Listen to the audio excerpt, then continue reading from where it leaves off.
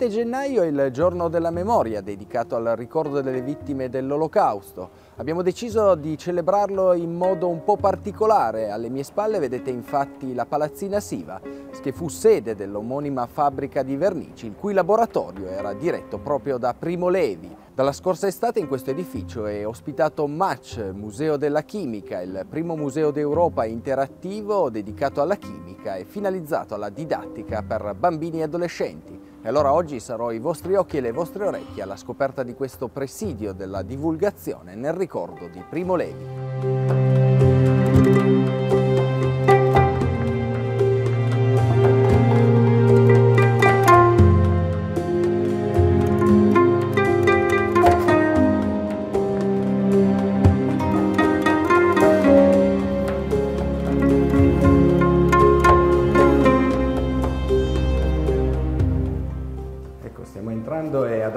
Aspettarmi c'è Alessandra. Benvenuta. Per, grazie eh, per illustrarci e farci eh, girare questo, questo, bel museo, questo museo molto interattivo, ma eh, partiamo da un luogo particolare Alessandra, dove ci troviamo qui? Ci troviamo nell'ufficio che era di Primo Levi, perché Primo Levi lavorò qua alla Siva dal 1948 fino al 1977 è importante questo, questo, studio perché noi diamo grande risalto alla figura di Primo Levi come chimico che lavorò nei laboratori che, dove oggi abbiamo il Museo della Chimica. Ecco, mm, puoi descriverci eh, Primo Levi appunto nella sua professionalità che poi anche nella sua testimonianza diede molto peso al, al suo mestiere. Che cosa possiamo dire di questa figura? Possiamo dire che era una figura che ci teneva tantissimo alla divulgazione scientifica, che è quello che noi facciamo ogni giorno in questo museo, e ha scritto degli importanti testi che sono considerati eh, in ambiente internazionale come dei testi veramente import molto importanti, come la chiave a stella e il sistema periodico.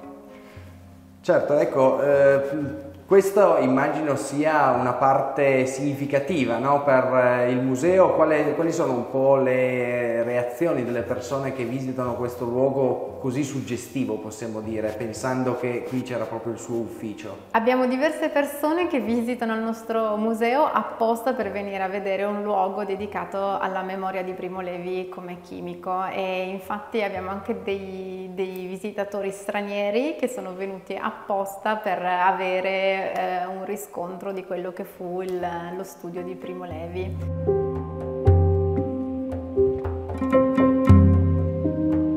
Alessandra, qui siamo nel, nel, primo ambiente dei quattro di cui è composto eh, Match. Eh, dove ci troviamo?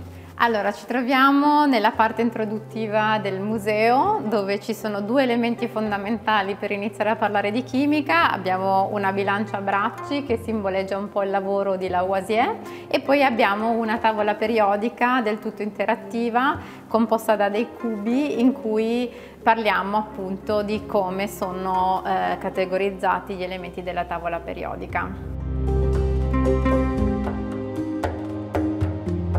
Molto vicini a dove eravamo prima, ma questa è un'altra sezione del, del, museo. Esatto, qua parliamo degli stati della materia, abbiamo diversi exhibit che esemplificano gli stati della materia. La cosa importante di questo museo è osservare, toccare e sperimentare, quindi anche un semplice exhibit come può essere questo con un tubo di plexiglass ci dà eh, l'idea di come si muovono le molecole all'interno dei vari stati della materia. Qui abbiamo anche altri exhibit che parlano di questo argomento e, e la, la cosa più importante è divertirsi mentre si sperimenta.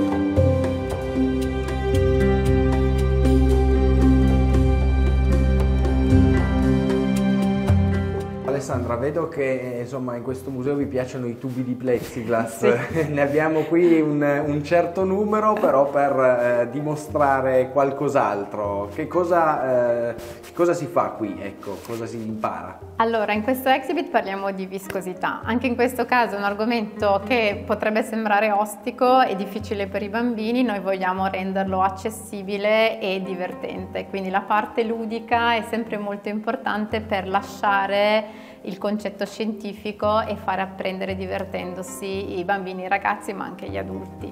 In questo caso qua abbiamo dei tubi di plexiglass con diversi liquidi all'interno, abbiamo la glicerina, abbiamo l'olio d'oliva, l'acqua e l'acqua saponata. Abbiamo delle pompe che generano delle bolle e vediamo la reazione e come si muovono all'interno di un fluido a diversa viscosità e così con, eh, diciamo, con l'esperienza visiva e pratica è molto più semplice apprendere un, un concetto scientifico come la viscosità. Allora, questa è l'acqua, qui abbiamo l'olio vedete la differenza. E poi la glicerina. Una bo- un'unica grande bolla, ecco, molto esatto, compatta. ha viscosità crescente.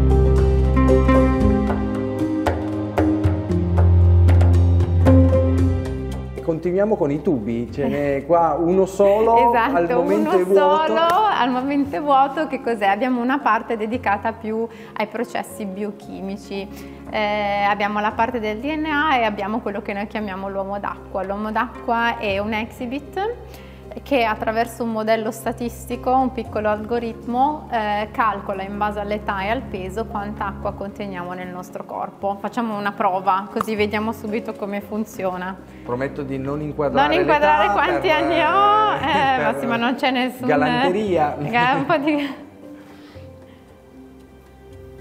Ok, adesso lo calcola e nel tubo vedremo, io ho circa 30,6 litri all'interno del mio corpo ed è molto esemplificativo vedere quante, perché quando si, si, cita il numero non sempre si riesce a visualizzare quanta acqua è veramente. Questi sono 30,6 litri che io contengo nel mio corpo.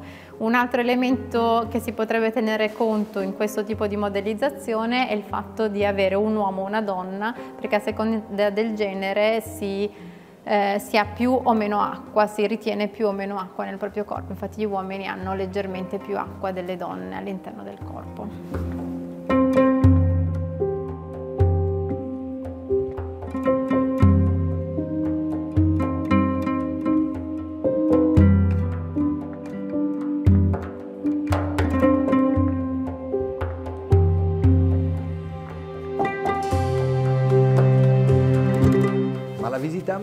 Finisce qui perché questo museo ci riserva ancora uno spazio del tutto particolare, andiamo a scoprirlo. Eccoci qua al Chemistry Bar, abbiamo il nostro barman Andrea, ciao Andrea. Benvenuti, benvenuti al Chemistry Bar, un bar un po' particolare. Qua non si mangia e non si beve niente, ma vengono servite delle reazioni chimiche. Quindi se volete ve ne faccio vedere una. Eh sì, sarebbe, sarebbe bellissimo. So che avete anche un menù, ma io lascio fare allo chef, in questo caso al barman. Molto bene. Allora vi faccio vedere un esperimento un po' scoppiettante. Prendo tutto quanto il necessario e ci rimettiamo qua. Allora, per fare questo esperimento usiamo un portarullino, ormai non li usiamo più tanto, quindi abbiamo deciso di dargli una seconda vita aggiungiamo un po' d'acqua all'interno del portarullino e poi velocemente dobbiamo inserire un po' di digestivo e chiudere. Aspettiamo.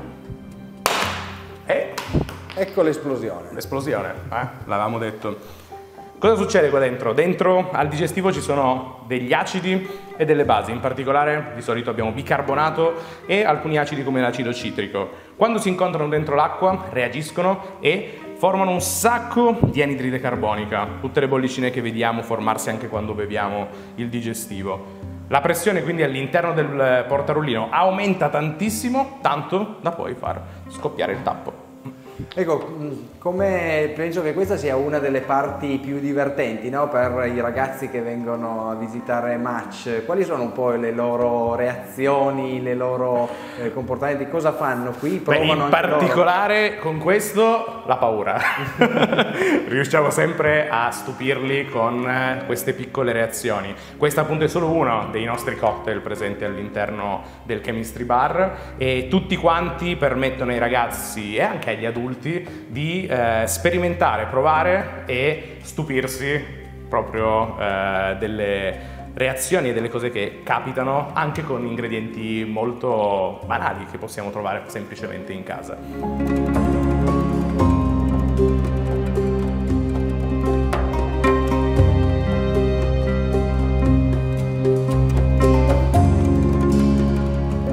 Parlato appunto del museo, però vorrei dedicare un attimo l'attenzione al, al pubblico di Match, insomma che pubblico è e come si approccia e come reagisce a tutto quello che gli mostrate.